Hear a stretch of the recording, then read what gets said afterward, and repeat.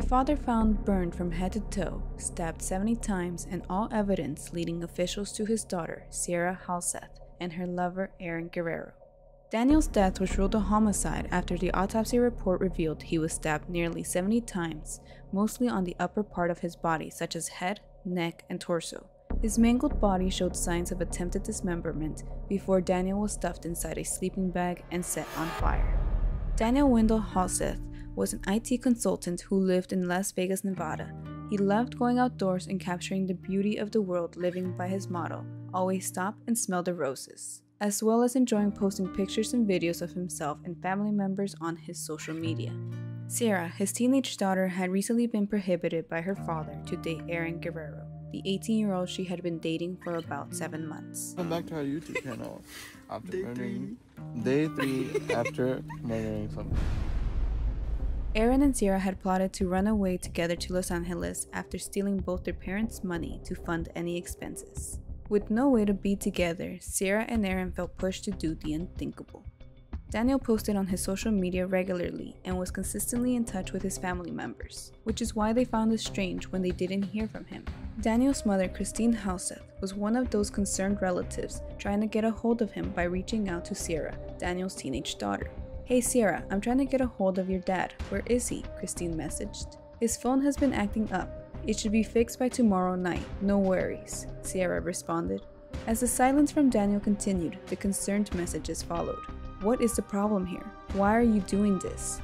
A few days prior to the murder, Sierra and Aaron stole Daniel's bank card to purchase tools and chemicals at a hardware store to cover up their horrendous act.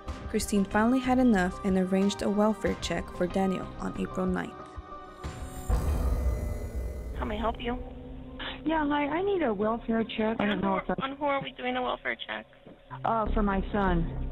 He's been missing for two days. His work's called, his family's called, I've called, his ex-wife's called. There's nobody answering the phone, and nobody is there's there's nothing. He just doesn't act like this. Does he live alone?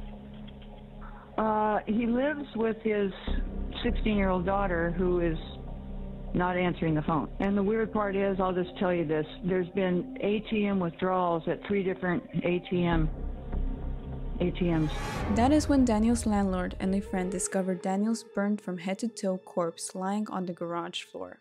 They immediately contacted the police and reported the body. How's a dead body?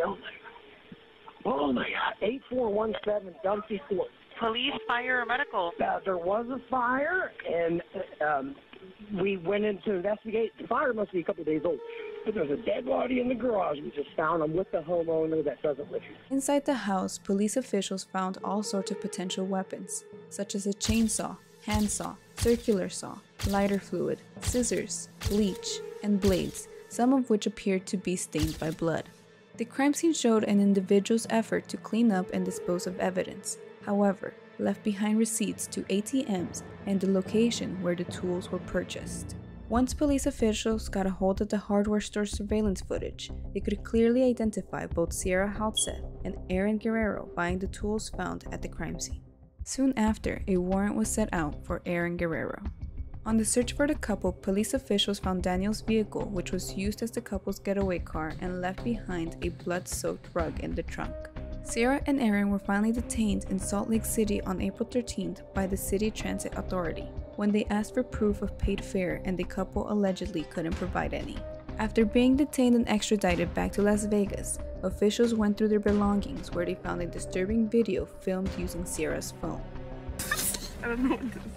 Welcome back to our YouTube channel. After day murdering, three. Day three after murdering somebody. Whoa! Don't put that on the camera. It was worth it. Um, and we had sex a lot today. Mm-hmm. As payment for doing it. so yeah.